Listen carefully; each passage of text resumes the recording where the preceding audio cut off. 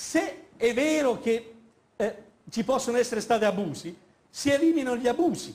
Ma io oggi, fino ad oggi, ne conosco uno solo di abuso. Per, lo so perché l'ho denunciato io direttamente alla Procura della Repubblica.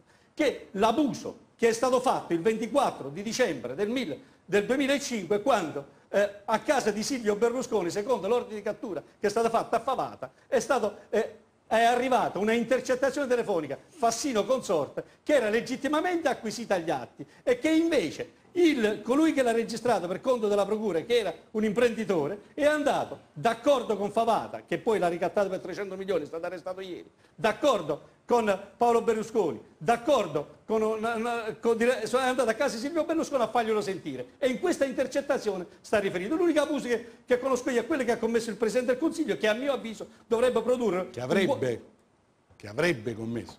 Avrebbe commesso. Eh, no. Avrebbe, avrebbe commesso. E quella io ricevuto, dico avrebbe. Quella ricevuto 300... Lei dice ah, eh, lei è un parlamentare, io no, con me quella sa prendono. E quella ha ricevuto 300 milioni a gratis. Avrebbe, poi lei dice 300 milioni a gratis. A sua insaputa. Eh? eh? A sua insaputa. A sua insaputa, ovviamente. Eh, eh, certamente, a sua insaputa.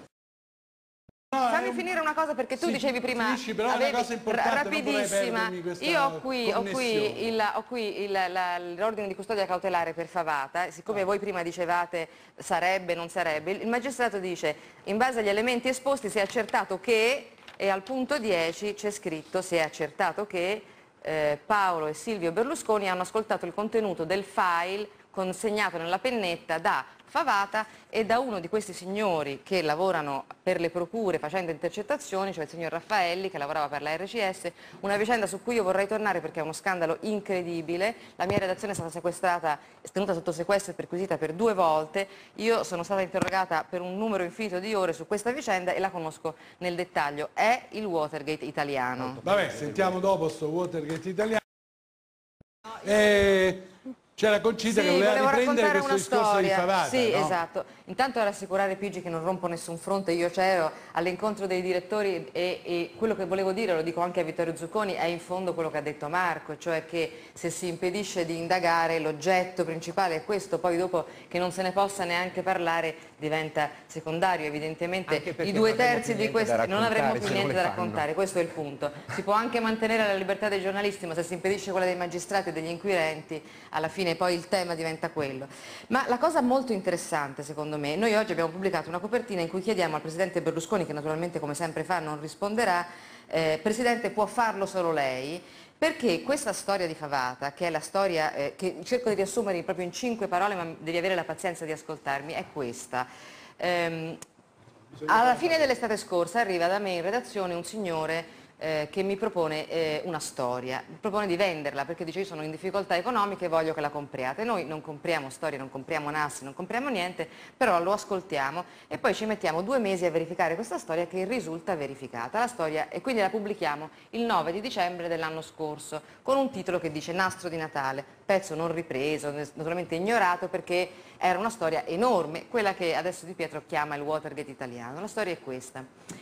Eh, questo signor Favata, socio in affari di Paolo Berlusconi, nonché del signor Raffaelli che eh, mh, che fa parte di questa società di intercettazioni, la RCS che lavora per la Procura di Milano. Quelli che entra, intercettano per conto Quelli che intercettano per conto della Procura, una società esterna che fa un lavoro tecnico. Questo signor Raffaelli che fa il tecnico dei telefoni, eh, molto amico di Favata, entra in possesso di un nastro, in quel momento di un file, di una pennetta, in quel momento talmente segreto da esistere in un'unica copia eh, cioè esiste solo la pennetta di quel nastro dentro la cassaforte custodita dagli inquirenti. È il nastro in cui si parlano Fassino e consorte e si dicono abbiamo una banca. Che cosa fa per Natale il signor Favata che vuole attraverso il fratello Paolo Berlusconi, va da Silvio Berlusconi ad Arcore, vuole, avere, vuole, vuole dire, acquisire un credito eh, per, avere, per fare degli affari successivi in un paese dell'est e gli porta insieme a Raffaelli e a una terza persona questo nastro, nastro segretissimo, proibito, cioè se, certo, diciamo, tolto da una cassaforte. Nemmeno trascritto dalla Nemmeno procura. trascritto, esiste solo in questa copia. E eh, Silvio Berlusconi lo ascolta, questo ce lo dicono tutti i testimoni, ma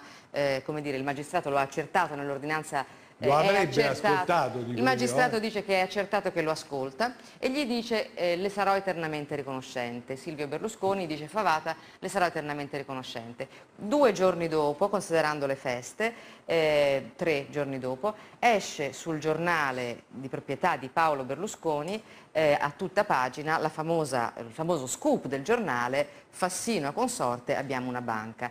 La conseguenza di questa vicenda sono state le elezioni politiche del 2006 che sono andate pareggio. come sono andate, pareggio. Ora, la cosa interessante è che mentre si discute di limitare, limitare l'uso di questi strumenti, eh, il Presidente del Consiglio ne fa uso illegale, evidentemente, o ne farebbe diciamo, uso illegale a quello che consta a questo magistrato. C'è la figura di Ghedini in tutto questo, che eh, Favata più volte eh, consulta dicendogli per favore tu sai come sono andate le cose, io sono sull'astrico, non ho più un lavoro, mia piccola da mantenere, datemi dei soldi come si usa fare, no? datemi dei soldi così io sto zitto. Questi che cosa fanno? Gli procurano un avvocato, non si è mai visto che il ricattatore sia difeso dallo stesso avvocato del ricattato, no? Gli procurano un avvocato, il quale avvocato promette al figlio di Favata un lavoro, un posto di lavoro in cambio del suo silenzio, dicendogli non lo facciamo adesso il passaggio di denaro perché ci controllano, lo facciamo fra un po', intanto facciamo lavorare tuo figlio. Questo non contento perché effettivamente non gli bastava che lavorasse il figlio, voleva i soldi per sé per mantenere la sua famiglia, insiste e va da Ghedini, il quale lo liquida. Chiamato dal magistrato, Ghedini si rifiuta di testimoniare e a un certo punto, dopo tre o quattro volte, che cosa che dice? Non non, non lo, no, soldi, non gli dai eh? soldi, non gli dai soldi. Gli, allora Favata insiste, va cercando questi soldi e finisce ai giornali perché si vede che è una, è una prassi. È scannato, come si dice. Esatto. Allora. allora Ghedini che cosa dice a un certo punto al magistrato di Milano che lo vuole interrogare? Gli dice no, io non, non posso perché sono eh, diciamo, coinvolto mm. eh, in questa vicenda, che Di Pietro poi diciamo, spiegherà meglio gli aspetti tecnici perché anche lui è stato interrogato, ah, ma quello che io vorrei dirvi è che Ghedini a un certo punto dice il signor Raffaelli, oltretutto, cioè il tecnico delle intercettazioni che ha procurato il nastro a Favata, è un mio consulente io mi sto consultando con lui in questa fase di scrittura della legge per la limitazione delle intercettazioni. Allora, siamo, come dire, cioè il consulente di Ghedini per scrivere la legge che qui abbiamo in discussione in questi giorni al Senato è la persona che ha consegnato un nastro di intercettazioni secretate e riservate a Però Silvio Berlusconi. Cioè, bocchino, è vabbè, come dare le chiavi della cassaforte alla banda Bassotti. È la dimostrazione cioè. che forse bisogna stare attenti a queste intercettazioni, no? Allora.